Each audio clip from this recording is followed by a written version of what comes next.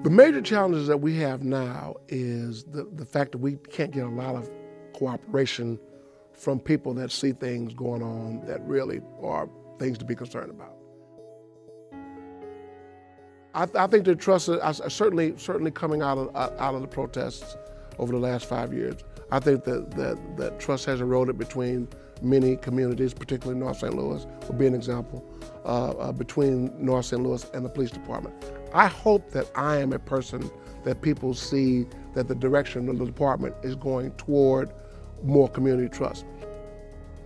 Interestingly enough, when you talk about um, uh, uh, uh, the, relationship with the community, there are a lot of lot of black parents and, and then grandparents would say, "Hey, there were there were there were white commanders and our, that were our commanders that we had strong relationship with. So it wasn't about race; it's about trust. And so uh, clearly, I think I think that the, the the focus, the stat focus, the deliverable focus, what the measurement focus, kind of took a little of, of, of the personal connection between the community, and then coupled with the, uh, the, the, the, Michael Brown incident, the Stockley incident, really um, uh, uh, uh exacerbated an already distant relationship.